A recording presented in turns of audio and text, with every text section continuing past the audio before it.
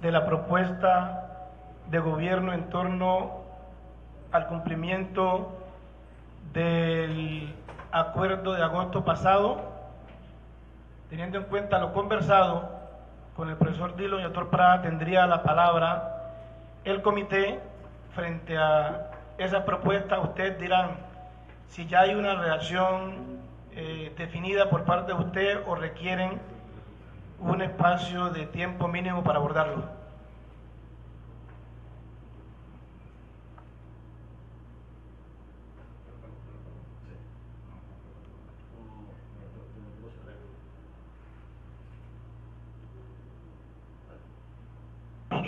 Saludo fraterno para todos y para todas.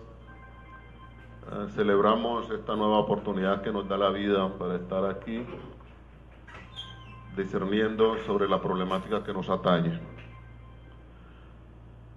En realidad nos hubiera gustado un documento más formal del gobierno para hacer los anuncios que nos acaban de hacer, que incluyera el compromiso con el acuerdo del año pasado la voluntad expresa del gobierno para cumplir el año pasado. Nosotros quisiéramos tener esa manifestación del gobierno nacional, como quiera que hoy estarían solamente haciendo unos anuncios de cumplimiento del gran acuerdo. Primera cosa. Segundo, subsisten algunas preocupaciones en el tema vial que ha sido como una especie de cuello de botella para poder avanzar en este proceso. No nos gusta que los anuncios impliquen responsabilidades más allá del año 22. No nos gusta, nosotros tenemos el interés en que los 720 mil millones de pesos queden resueltos para ser incluidos de aquí al año 22. Así que nos gustaría que se encontraran los mecanismos adecuados para que esa situación se resolviera. Los técnicos sobre la materia van a, complementar lo que yo acabo de plantear, compañero Fidelio.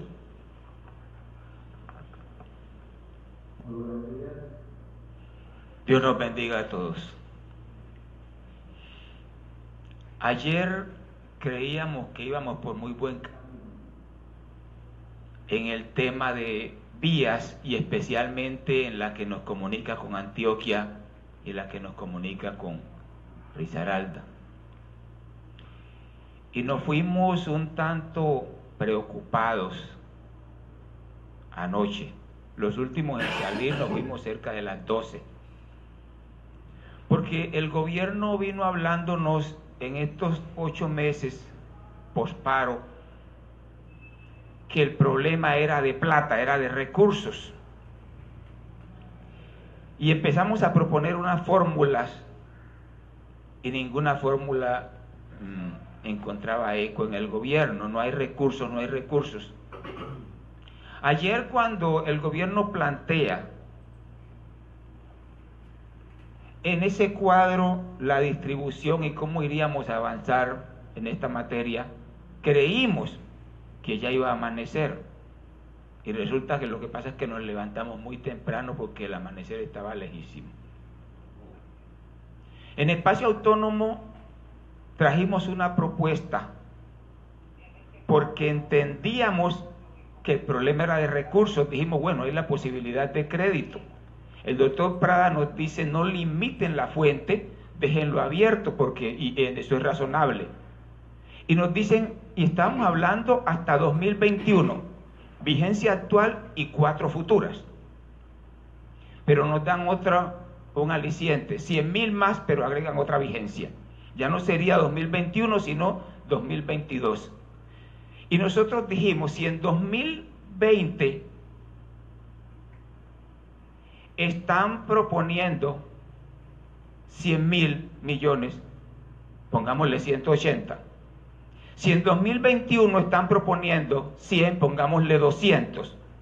Si en 2022 están proponiendo 100, pongámosle 200. Ahí estarían los 280 restantes.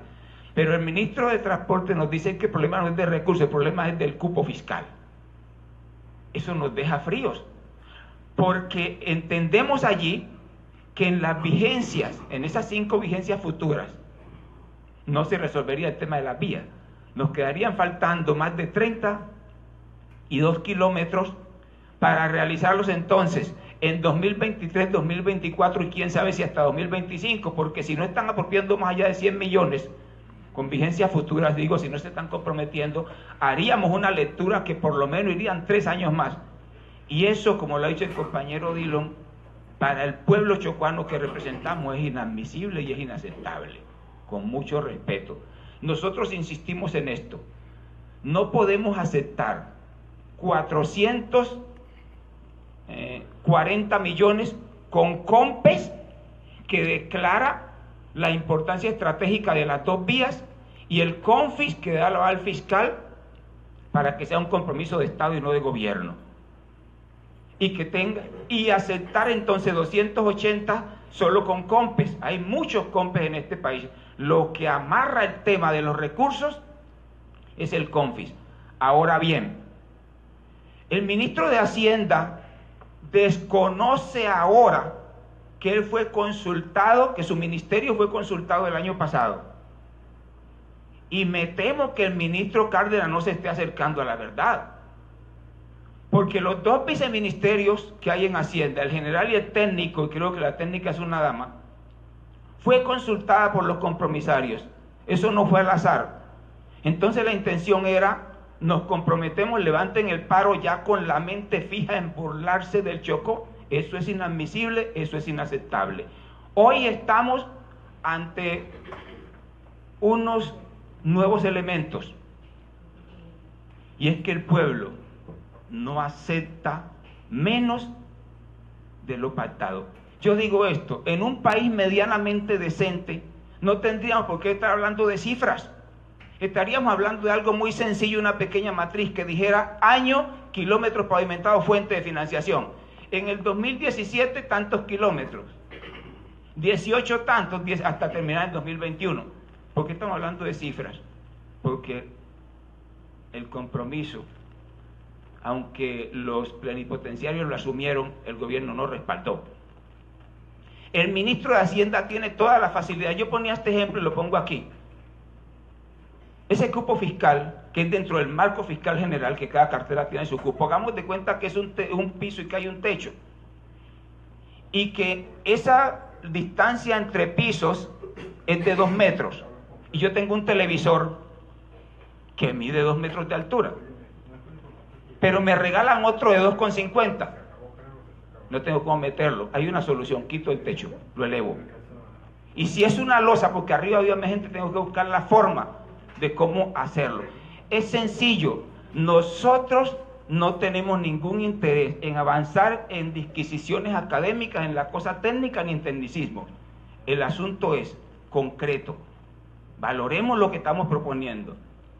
Si está muy forzado el tema de la economía ahora, miremos para los tres últimos años cómo ponemos 180 en 2020 y 200 y 200 en los dos siguientes años aceptando algo que no estuvo inicialmente, que era hasta 2022, pero el pueblo no aguanta sin carretera más allá de 2022. Y estamos en la calle, no es una amenaza, pero, pero nosotros no estamos en paro pues, per se. El paro no salió de la nada y tampoco puede levantarse sin nada. Y aquí hay algo concreto. El pueblo, ya se ha dicho, hay dos cosas o tres que quiere verlas. Primero, concreto lo de las vías. Dos, pero una rebaja en sus facturas, por lo menos que el valor, el precio kilovatio hora rebaje. Queremos, como ya se ha dicho con fecha concreta, el tema de Bajirá, y el tema de la salud son cuatro. Los otros temas, como hemos dicho, en el caso de vías hay otros temas de vías, pero se pueden ir trabajando. Entonces yo por eso compartía con mis compañeros y propongo este mote para el documento formal de compromiso del gobierno, que diga más o menos esto. El gobierno nacional, en representación del Estado, obvio, ratifica su voluntad política de cumplir los acuerdos firmados en el marco del paro del año pasado, el cual se cumplirá de la siguiente manera. Y punto por punto nos digan cómo se va a cumplir. Muchas gracias. Toño, ¿tienes algo? Bueno, la verdad es que el compañero Fidelio ha hecho, pienso yo, una muy clara y elocuente eh, manifestación respecto a lo que ustedes nos proponen hoy y que pues nos tomó de alguna manera por sorpresa porque como él lo dijo al comienzo, no fuimos todos con la idea de que nos habíamos entendido y que iba a quedar claro que la figura del crédito era para hacerlo simultáneamente a la inversión de los 440 Hoy nos dicen que es para después del 2022 y en esas condiciones pues el escenario vuelve para nosotros a cero con mucha tristeza porque la necesidad de la carretera es única. Los argumentos pienso que de alguna manera sobran. Nosotros no entendemos, y, lo, lo dijo, mire, al principio nos dijeron el problema era de plata y nos pusimos a escudriñar formas. Y hoy nos dicen el problema es de cupo. ¿Dónde queda la confianza? Señor ministro, nosotros sabemos, porque ustedes mismos nos lo han dicho, que la plata de CTI se va a ir para vías. ¿De dónde sacaron el cupo fiscal o de dónde lo van a sacar? Porque eso está previsto. O sea que ya estaba. O sea que así como se encontraron el cupo fiscal para hoy pasar CTI a vías, por favor encuentren el cupo fiscal para que las vías del Chocó sean una realidad alguien algún día en la historia de este país tiene que ponerle el pecho a darle solución a un problema estructural de este territorio que lo existe hace 400 años. Nosotros somos un corredor sin vías y eso es lo que permite la delincuencia y todo lo que pasa en este territorio, que es territorio de nadie, donde trafican armas, droga, gente, todo lo habido y por haber porque no tenemos una vía, porque no tenemos unas vías que nos articulen a la dinámica de este país. Vuelvo y le repito, alguien algún día tendrá que hacerle frente a una deuda estructural e histórica que tiene este país y por qué no que sean ustedes. Dios ha puesto esta oportunidad en manos de ustedes. Por favor, dispongámonos a ser creativos y encontrar un método porque este pueblo lo está exigiendo y lo está haciendo con toda la razón. ¿sí? Eso quería complementar. Bien, yo creo que hay, hay dos realidades que en mi ignorancia técnica no la veo tan distante, pero con el poco conocimiento político creo que podemos estar cerca. También creo que en el debate, aquí frente a frente, no sería posible llegar a ese nivel de acuerdo. Como sé, y todos sabemos que la sociedad chocuana nos está escuchando, y que existe el temor por los mensajes de WhatsApp que mucha gente manda de aquí a la calle diciendo que aquí no se ha traído nada y que se están vendiendo.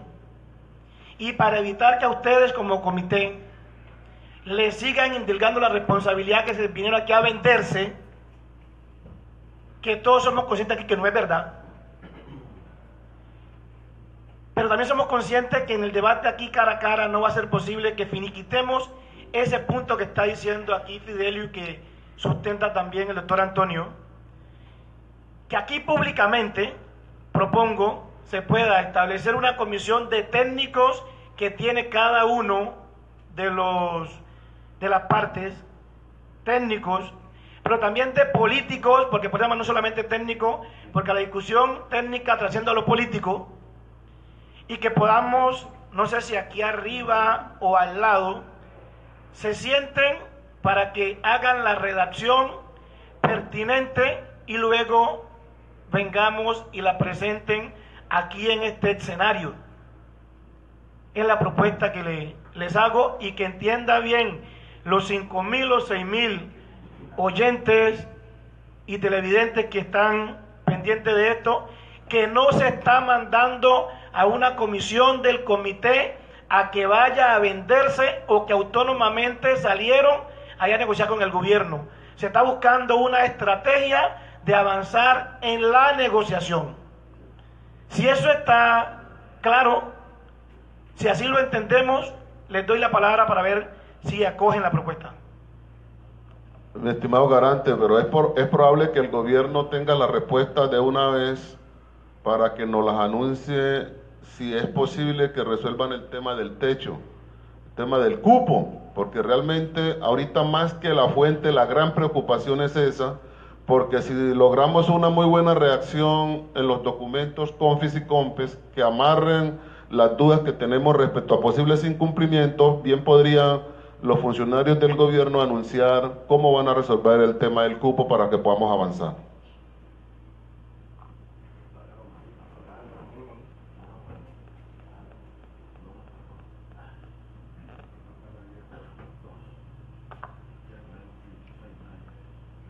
Eh,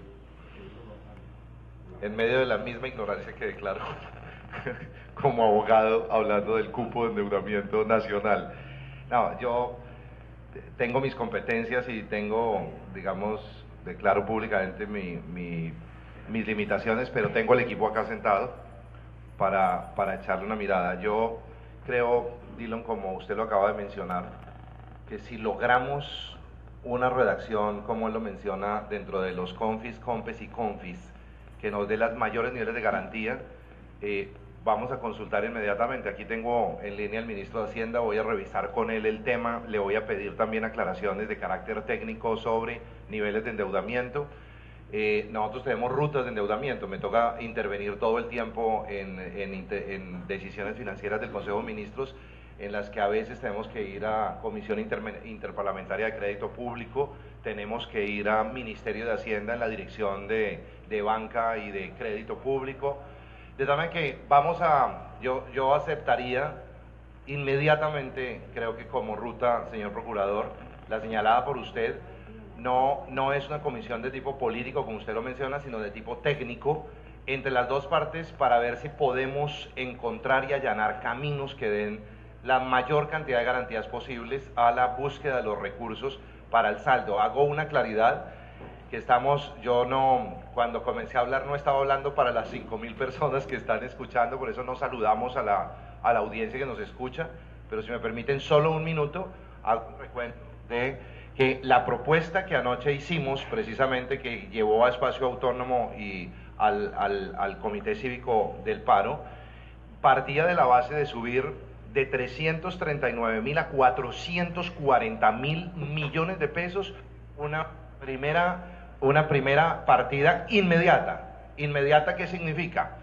Que no es para el 2021, como podría quedarse en el ambiente, sino que podríamos adjudicar de aquí a la primera quincena de septiembre los 440 mil millones con ejecución inmediata que incluso, lo aclaró el ministro de Transporte anoche, el propio constructor puede anticipar el proceso de inversión y acelerar el proceso de obras, que es lo que más le interesa a la comunidad.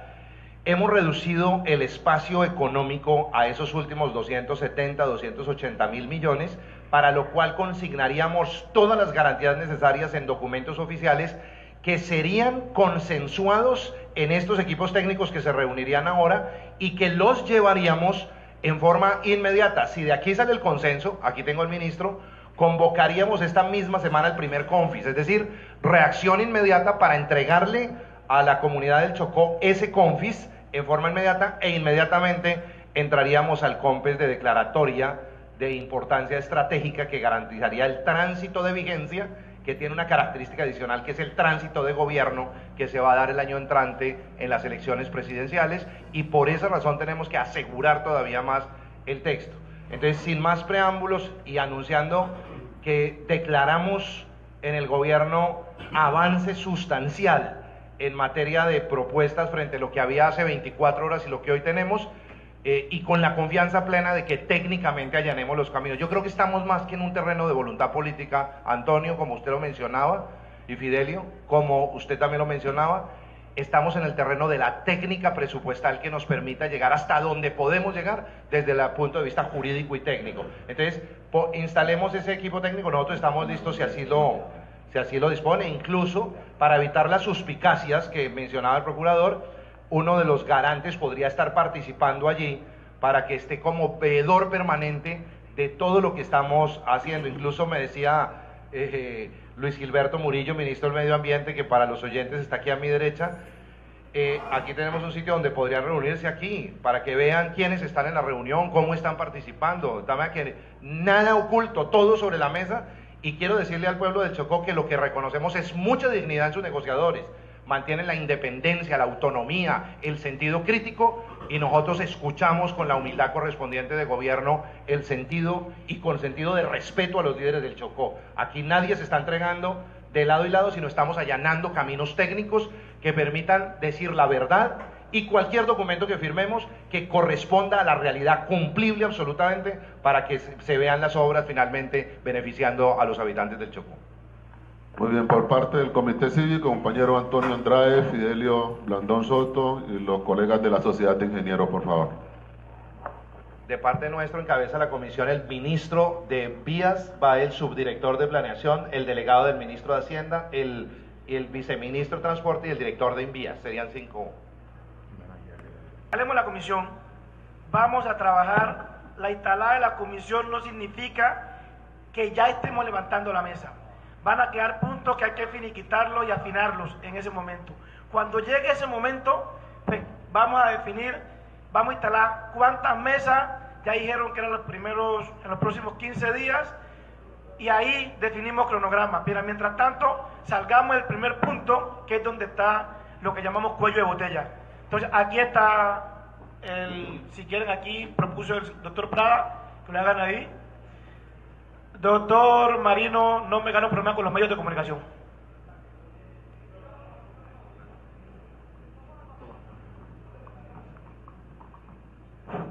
El compañero Julio Álvarez, por favor, acompañe la Comisión de Infraestructura. Eh, buenos días para todos los presentes solamente a modo de información.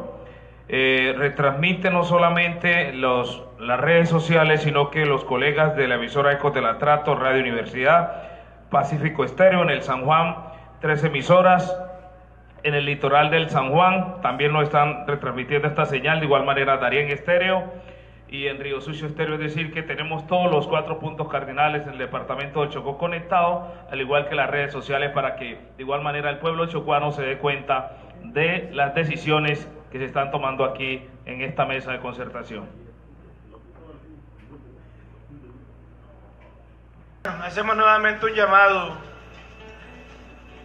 a que tomemos los asientos y lo demos continuidad al proceso. De, dice aquel presidente del CPC que les recuerde a todos ustedes que nos están escuchando y viendo en directo, que está en páginas de Facebook, que está Livia Gómez, Aldemar Valencia, IQ Radio, que está en Lloró Estéreo, La Voz del Chocó, Canalete de Televisión, RTV, Telismina y UTC TV. que están haciendo propaganda aquí, el, el Centro de Periodismo de... Pero bien, hay una circunstancia especial y extraordinaria ahora que nos ha comentado CNC también, claro, CNC, CNC. Una circunstancia extraordinaria que nos ha manifestado aquí el doctor Alfonso Prada, que quiere manifestarle aquí a la mesa.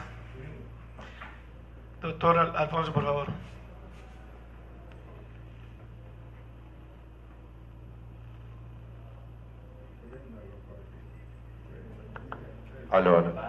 Bueno, muchas gracias nuevamente por la paciencia, por todo. Eh, me han pedido varias personas que aclare un poco que se presentó el día de ayer cuando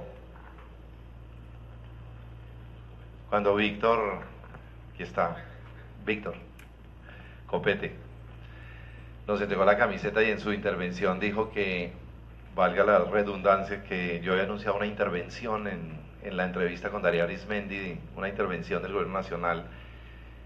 Yo hice la entrevista el día de ayer, efectivamente en la mañana, con Darío Arismendi y jamás dije que haríamos una intervención. El periodista me dice, y está grabado, el periodista me dice, pero ¿cómo ustedes están planeando una intervención? Le digo yo, eso no está en la agenda nuestra. Pero si se dieran las condiciones de corrupción de la Guajira, intervendrían, le digo, intervendríamos el Chocó y cualquier otro departamento que estuviera en esas condiciones pero jamás nació de mí siquiera una intención en marco de una deliberación democrática con semejante nivel que estábamos con órganos de control aquí de por medio en un escenario democrático. De tal manera que quería hacer esa aclaración y espero la reciban con la humildad de la...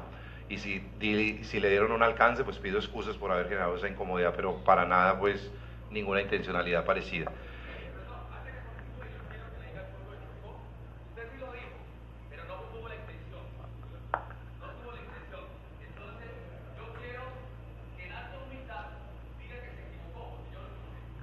Si usted, lo, si usted con eso queda satisfecho espiritualmente y así lo entendió, fue una equivocación de mi parte en la forma como lo dije, pero jamás, jamás, créame, ninguna intencionalidad diferente que me haga una humillación o algo parecido. No me siento como tal y el espíritu lo tengo tranquilo. Eh, muy bien, Víctor. Eh, bueno, el tema es el siguiente. El impasse es que no hemos logrado eh, tener un consenso con el ministro de Hacienda hasta eh, incluso la, la expresión del ministro es que no podemos cometer el mismo error de la firma del levantamiento o de la firma del acuerdo excediéndonos en, en, eh, en, eh, en compromisos que no tengamos la capacidad de adquirir. Considera que plantear, no sé si ustedes ya socializaron el texto, creo que todavía no, Exactamente, porque estábamos, les, dijimos, hombre, no vayan a socializar el texto hasta que no haya un compromiso del gobierno con ese texto, porque si no, lo aceptan allá y nosotros no lo hemos socializado. Nosotros lo estamos socializando. El ministro ha planteado que en los términos, no voy a ser expreso por lo que no se conoce el texto, pero los redactores y quienes estuvieron ahí me, me comprenden muy bien lo que pretendíamos era básicamente asignarle la obligación al gobierno de hacer antes del 31 de marzo un nuevo confis que permitiera la incorporación del crédito al que han mencionado u otra fuente que permitiera garantizar los 280 mil millones de pesos. Eh, considera que ese escenario no va a cambiar de aquí a marzo y que estaríamos consignando irresponsablemente un compromiso que el gobierno no estaría seguramente en condiciones de cumplir, y que incluso quedaría consignada haciendo limitaciones sobre el cambio de la situación fiscal, que él considera que no hay cambio fiscal viable sobre la mesa, no habría condiciones para hacer el confis y estaríamos casi que aplazando otra vez una protesta ciudadana porque no va a haber ese confis. Yo no tengo tan claro el tema en la medida en que le decía, pero eso es un poco la declaración de priorización que haría el gobierno porque si quitamos el concepto del CONFIS y le metemos el concepto de priorización, como dice el ministro de Hacienda, pues desaparece un poco la presión de un instrumento concreto, pero no es claro que incluso con eso nosotros quedemos obligados. La propuesta que haríamos, porque es que ya llevamos una deliberación muy larga, el presidente Santos en este instante, como lo deben saber ustedes, está en la posición del presidente Lenin de, en Quito, se está posicionando y están haciendo las... Perdón, en este momento está eh, posesionando lo que yo quisiera, él debe estar regresando en horas de la noche, es habilitar un espacio de diálogo cara a cara entre el gobierno para poderles enviar un texto absolutamente concertado por el gobierno. Y no sé si lo que proceda a eso es pedir la suspensión de la mesa en este momento para que tengamos la posibilidad de dialogar y entregarles a ustedes un texto, o bien sea al final de la noche, o bien sea mañana que lo revisen y regresar para, para continuar la deliberación y ya tomar las decisiones finales. Pues yo procuro que sea mañana mismo. Dos posiciones serias. Una del comité que ha dicho nosotros no aceptamos levantar el paro sin tener garantizado los 720 mil millones de pesos del tema vial. El gobierno está diciendo, estamos en una discusión interna para no quedarles mal y para que eso pase, dice el doctor Prada, que me parece serio, necesito una reunión frente a frente con el presidente, ya no con el ministro de Hacienda, porque ya la está teniendo ahora, sino con el presidente que es el jefe del ministro de, Hacienda. Y me, me está diciendo, hoy les puedo mandar un primer documento y lo conversábamos acá, si es posible, yo regreso mañana en horas de la tarde para continuar el diálogo ya con una definición presidencial sobre el asunto. Entonces, si eso es así, Es cuestión de que el comité, en su sabio entender, que no creo que habría muchas cosas que discutir, me da mucha pena con, con, con ustedes, es, y así le decía el doctor Prada ahora, es cuestión de esperar hasta mañana para continuar el diálogo, pero no es un tema de análisis y discusión ahora a mi juicio, porque ya hay una decisión seria tomada. Voy a reunión cara a cara con el presidente para garantizar la solicitud que ustedes han pedido. Profesor Dillon, usted está pidiendo la palabra. Sí, nosotros valoramos la, la manifestación que hace el secretario general de presidencia porque nos llena de confianza en el sentido que hay la intención de que lo que se afirme acá esté absolutamente garantizado para el futuro en relación con el cumplimiento. Eh, lo que me parece es que pudiéramos echarle una miradita rápida a los otros temas para que se lleven también las inquietudes y nos puedan traer respuestas mañana. No sé si haya la disposición de eso. Una ronda de precisiones. En el tema de salud, ¿hay alguna inquietud, compañeros? Dillon, espero, eh, Dillon, espera un momentico. Vamos a hacer la, si vamos a hacer las precisiones, estoy totalmente de acuerdo si es lo que ustedes consideran. Pero lo que sí quiero llamar la atención es que la precisión sea la propuesta sin antecedentes, porque ya conocemos los antecedentes. Entonces, si sea si cada mesa va a decir las dos, tres cosas que tienen pensado abordar en la instalación, que digan las dos, tres cosas, no el antecedente del paro anterior, porque ya aquí nos echamos el discurso la otra, la mesa reunión pasada, nos lo echamos ayer. Hoy si queremos que el doctor Prada nos traiga razones concretas, hay que tener peticiones concretas. Doctor Dilón. Sí, eh, compañero Antonio. Gracias. Eh, para hacer una sugerencia, si bien es cierto, algunas precisiones concretas deben hacerse por cada mesa, perdón, también es cierto que nosotros tenemos una estructura general compuesta por las 10 mesas con sus respectivos voceros y cada mesa tiene unos técnicos y tiene una hoja de ruta y eso a la fecha no está perfectamente consolidado la forma de operación. ¿Qué sucede? Que en el acuerdo se plantea que todos somos pacíficos facilitaría esa estructura para poderle dar garantía a la gestión ¿sí? de todo el tema. El no tener esa coordinación perfectamente definida nos ha hecho perder mucho tiempo y mucho esfuerzo. Y aunque eso parece general, no concreto, sí es muy necesario que lo hagamos. ¿Por qué? Porque en el momento en que empecemos a, puntualizar, vamos a terminar casi que en un plan de choque que nos va a permitir identificar de manera precisa y concreta qué es lo inmediato, ¿sí? Pero si esa estructura no la operativizamos, nos vamos a diluir otra vez en, las charlas y en las mesas sin que eso quede concreto. Entonces yo sí insistiría en que definamos esa responsabilidad de quién es, porque incluso todos somos pacíficos, nos dijo en una reunión reciente el señor de planeación, por favor, que había un, un aplicativo ordenado desde presidencia para iniciar el seguimiento a, lo, a, los avances en términos de cumbre agraria y paro del Chocó y que ese aplicativo nos serviría de marco de referencia para hacer realmente un porque habíamos tenido diferencias entre la percepción que ustedes tenían del avance y la que tenemos nosotros. Entonces, esos son los instrumentos que de alguna manera quisiéramos tener claro para poder ponerle un orden a lo que sigue de aquí en adelante. En un general, pero realmente creo que es necesario para nosotros y también muy beneficioso para ustedes. Eh, doctor Luis Gilberto, los colegas de la mesa minera han venido insistiendo en los espacios autónomos sobre el tema de unos pilotos. Ellos quieren saber, al margen de, las discusiones que han de darse en la respectiva mesa, cómo va el tema de los pilotos. Quisiéramos una respuesta muy concreta al respecto.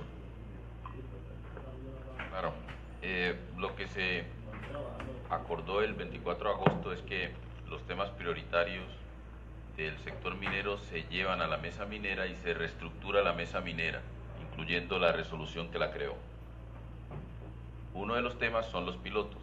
Los pilotos ya, Naciones Unidas tiene formulado el piloto para Bebará y Bebaramá, que es la oficina del alto comisionado, y nos van a presentar la próxima semana y dependiendo de cómo se desarrollan eh, las, eh, las mesas, lo traeríamos a presentar en la mesa minera que hace parte de la estructura de mesas del acuerdo. También ya está listo el piloto para el río Quito, que lo formuló el Instituto de Investigaciones Ambientales del Pacífico. Nos quedarían pendientes lo que hablamos del piloto del área de Novita, eh, pero creo que hay un avance muy importante. Eh, otra inquietud que surge es la... Ah, siga, mi estimado ministro, siga.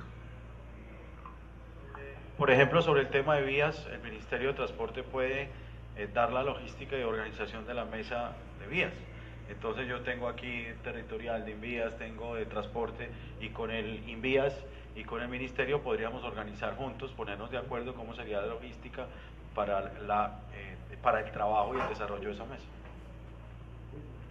A, propósito de las mesas, eh, hay la observación que solamente está formalizada la mesa número 5 y 10, que a la larga se fundieron en un solo escenario sería conveniente formalizar las otras mesas, que para el día de mañana, cuando venga ministro, se pudiera tener el acto administrativo mediante el cual se conforman las mesas ya estructuralmente. ¿Sí?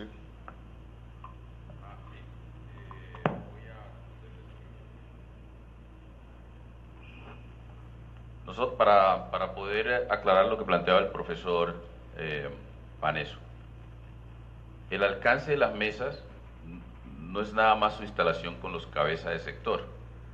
Lo que estamos proponiendo y lo acordamos el 24 es que se hace la instalación y se define un plan de trabajo para el cumplimiento de los compromisos que están en el acuerdo. Ese plan de trabajo debe tener una hoja de ruta o cronograma donde se definen unas herramientas y unos tiempos para el seguimiento y la evaluación. Ese seguimiento y evaluación obviamente que eh, en ese cronograma establecerá, con base en el acuerdo, unos indicadores. La propuesta concreta es que en las ah, próximas tres semanas podamos instalar varias de esas mesas con los cabezas de sector. Eso no excluye que los técnicos de mesas que ya venían trabajando lo puedan hacer, pero que se concentren en el plan de trabajo para cuando venga la cabeza de sector la discusión sea más fluida.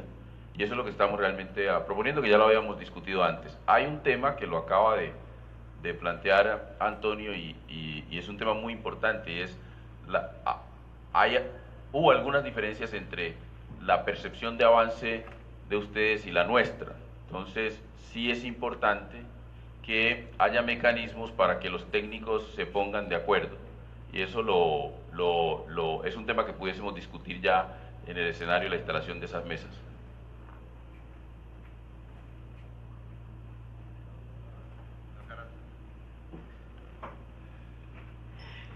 Qué pena. Me están también escribiendo mi jefe de Bogotá preguntándome cómo va esto. sí. Si ya eh, tenemos una propuesta de gobierno, ya hay una aceptación por parte de, del comité. Eh, pero es una pequeña, procurador, usted también tiene en su terreno un balón y es el tema de la lucha contra la corrupción. Nosotros le enviamos un oficio por su conducto a su jefe en el cual le, le pedíamos que liderara la conformación de un gran equipo de las autoridades de control del nivel nacional para avanzar en el tema de la moralización de la administración pública en el Chocó, para ver qué respuesta nos tiene sobre ese particular. Le respondo ya le vamos a poner la palabra a Ariel.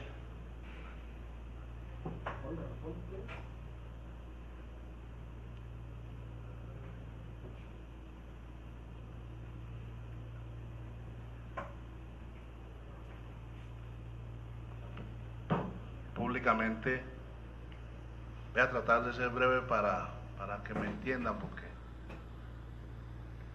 hombre, nosotros tampoco, doctor Luis Alberto, estábamos renegociando pliego. eh, a, a 31 de diciembre había el compromiso por parte del Ministerio de Minas y Ambiente de entregar los cinco pilotos eh, para, para poder abrigar esos mineros de esos sectores. La instalación de la mesa no es la discusión, porque en eso hemos tenido paciencia seis meses sin que se dé la primer mesa. Pero sí necesitamos, por Dios bendito, y espero que el comité me entienda en esto, necesitamos quitarle de las manos a los jueces, a los fiscales y a los policías el sesgo de criminalidad que se está cirniendo en contra del sector minero. Hoy la Corte ha dicho hay seis meses para el tema de río Atrato. Y aquí tiene que surgir una propuesta, señor procurador, en el sentido de decir, o se legaliza la minería o se acaba la minería en Chocó. Porque lo dijo, lo dijo el señor ministro de Minas, encargado del doctor Cante. No hay manera, tal y como está la legislación, de legalizar un solo minero en Chocó. No hay manera. Pero con el plan de choque y los pilotos podríamos comenzar a atender esos requerimientos. Y ese era el compromiso. Los otros compromisos de mesa, para los que no conocen la dinámica de mesa, se atenderán en mesa, porque son más largos. Pero la decisión de querer darle un amparo a esa población que está a merced de la criminalidad y de la fuerza pública tiene que surgir inmediatamente.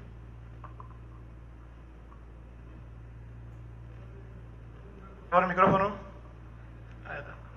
Este no está, pero sí, quisiera responder. Eh, en, el, en el acuerdo, sí, pero, pero yo creo que hay que, hay que aclarar eso. En el acuerdo eh, se establece un compromiso de minería limpia, legal y socialmente responsable. Y hay tres puntos en esa, en esa sección. El sector minero re- se completa a reglamentar el objetivo de la mesa, que fue lo que dije anteriormente. Segundo lugar, que se agilicen los acuerdos de concertación de la mesa y que se muestren resultados. Y el tercero, que se garantice el cumplimiento del, par- del plan marco construido en instancia de la mesa minera del Chocó. O sea, esos puntos que usted menciona son puntos de la mesa porque aquí está establecido en el acuerdo. Frente a la pregunta de del profesor Dillon, tres cosas puntuales. La primera, no, no es partiendo de arriba hacia abajo, no de abajo hacia arriba. Una vez termine el paro, vamos a convocar el comité de moralización departamental. Segundo, el 31 de mayo, si no estamos en paro, aspiro no, viene una delegación de cinco funcionarios de muy alto nivel de la Procuraduría, vienen cinco delegadas, a reunión con sociedad civil, entre eso el disciplinario, para avanzar en ese propósito que nos hemos trazado y específicamente como tema principal el tema de cumplimiento de los acuerdos, que fue una, eh, exigencia que se le hizo al procurador cuando vino. El 20 de junio estará aquí en Quibdó nuevamente el procurador general, ya confirmado, y viene a responder no solamente las inquietudes que hizo el comité cívico y, otras, y otros sectores, sino a responder qué acciones ha adelantado en torno a las denuncias que se presentaron en su presencia en abril aquí en el Chocó.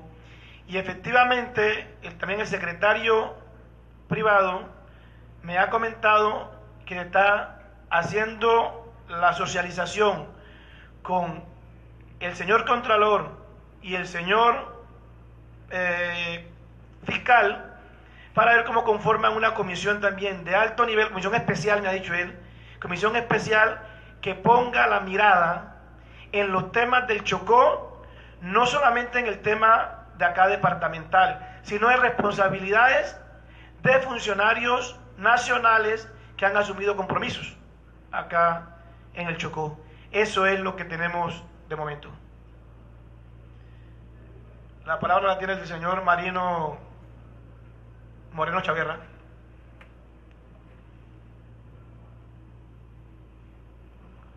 Hola.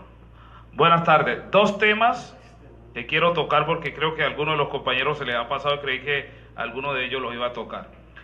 En primer lugar, doctor Prada, y demás representante del gobierno, ustedes hoy tienen la gran responsabilidad de cumplirle al pueblo chocuano y son ustedes los responsables de lo que aquí pueda pasar. Hoy completamos 15 días del paro y la gente, un sector está cansado, otra gente quiere seguir, entonces son ustedes los responsables de lo que aquí pueda pasar, y esto que quede grabado ante los medios de comunicación.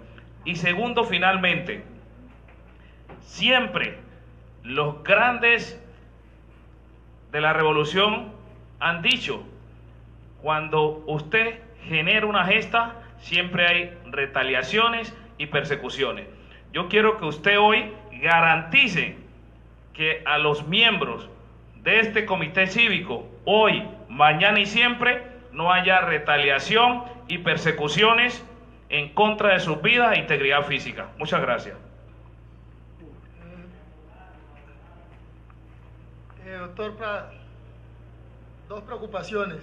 Uno, recordarle el tema del el compromiso de incluir a Chocó en el fondo de la Comunidad Económica Europea y la priorización como el Departamento de La Guajira para mañana. Lo habíamos conversado el día de ayer. Y dos, como el paro continúa, me acerqué a usted y le pedí el tema del ESMA, que habláramos con el general para controlar, porque le iban a echar el ESMA a la gente de Tado. El paro continúa hasta mañana que usted venga. ¿Cómo controlamos el ESMA, tanto en Quito como en Tado, para que no se nos salga esto y todo lo que avanzamos no se venga para atrás? Dejo esa inquietud allí. Entonces nos tocaría convocar a un Consejo de Seguridad especial para abordar ese punto que no nos vaya a hacer retroceder en lo que hemos avanzado. Porque si le tiran el ESMA a la gente en Tado para abrir las vías, se nos puede venir todo esto atrás. Yo creo que, doctor Prada, antes de... Sería bueno también, escuchémonos, por favor, escuchémonos. Escuchémonos. Yo quiero retomar esta última parte que dice aquí el doctor César García. Aquí hemos estado durante 15 días en permanente reuniones, discusiones y análisis, fuerza pública, comité cívico, y agentes del Ministerio Público. Y somos todos y todas testigos que el paro ha sido pacífico, que se han presentado algunos conatos normales en un paro cívico, pero dentro del marco de la movilización esto ha sido pacífico. Pero y hemos sido reiterativos con el coronel de la policía que la presencia del MAS en la calle es una provocación a la movilización. Y hay que reconocer que de alguna manera él ha cumplido aquí con la palabra. Pero sí nos preocupa, nos preocupa que nos vaya a pasar como en Buenaventura. Que nos lleven al nivel de provocación tal que terminen en una confrontación y desvirtuando esta movilización. Yo también le solicito ya como garante y como Ministerio Público, que hable con el ministro de Defensa para que instruya al general Rodríguez y ésta instruya acá al coronel Arevalo para que en ninguna circunstancia, a no ser que sea estrictamente necesario, tiren el ESMAS a la calle, porque la prueba de que la movilización ha sido pacífica la tienen ustedes aquí hoy. Que aún estando aquí, la gente salió a marchar, por aquí pasaron y nadie tuvo que venir a decirnos aquí, miren, hay un riesgo de que, sí, están afuera, pero como acto de acompañamiento y de presencia, no para venir a generar desorden. No para generar desorden. Entonces sí le solicitaría que hable con el ministro de Defensa para que le meta un poco de control al general Rodríguez, que el que tenemos entendido tiene algún nivel de beligerancia en términos de reaccionar frente a la movilización. Dicho lo anterior, si no hay más temas que abordar correspondiente a la mesa, doctor, para demás miembros del gobierno y del comité cívico, nos encontramos aquí mañana a las 2 de la tarde. Bueno, llevamos dos días de trabajo muy intensos con el Comité Cívico del Paro en el Chocó. Hemos venido con el ministro de Transporte, el ministro de Vivienda y un equipo muy fuerte, robusto, técnico. Eh, hemos llegado a, a, avances muy significativos, eh, pero hemos decidido suspender hasta el día de mañana las deliberaciones mientras yo hago consultas, sobre todo en una materia que es eh, trascendental, que es cómo logramos transmitir en un documento que vamos a firmar de levantamiento del paro, si a eso llegamos, las garantías plenas de que los 280 mil millones de pesos restantes de la infraestructura vial, que se sumarían a los 440 mil millones que hoy está comprometiendo y listo a contratar el gobierno nacional, queden comprometidos, incluso trascendiendo el próximo, el próximo año que viene con una elección de nuevo gobierno.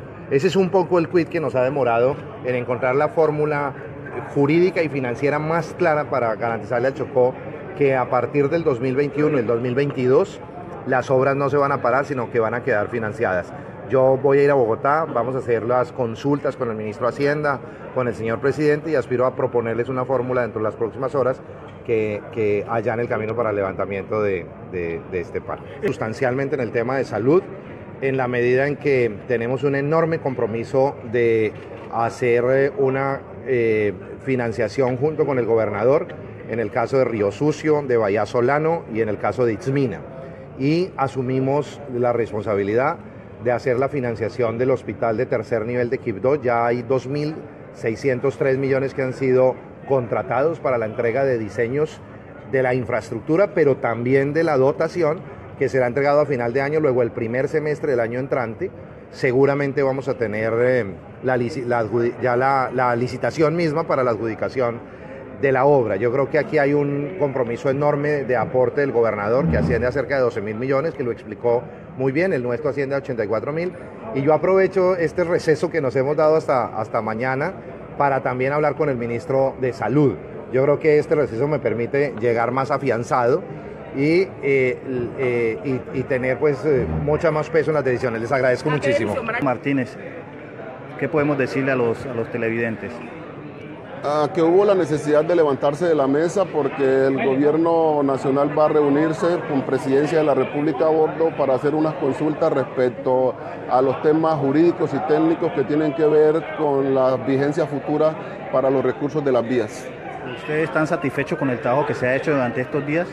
Por lo menos con la conciencia tranquila. Hubiéramos esperado que la situación se hubiera resuelto en el día de hoy, pero nos toca tener paciencia y mientras tanto vamos a seguirnos movilizando por las calles de nuestro pueblo. El tema del SMAT. Sí, la idea es que los militares se mantengan tranquilos, tal como nosotros lo estamos, para evitar provocaciones y que se altere el orden público. ¿El pago continúa? ¿Qué actividades se van a hacer? Lo mismo que hemos venido haciendo, marchas, actividades culturales, movilizaciones en general pago continúa. Indefinidamente.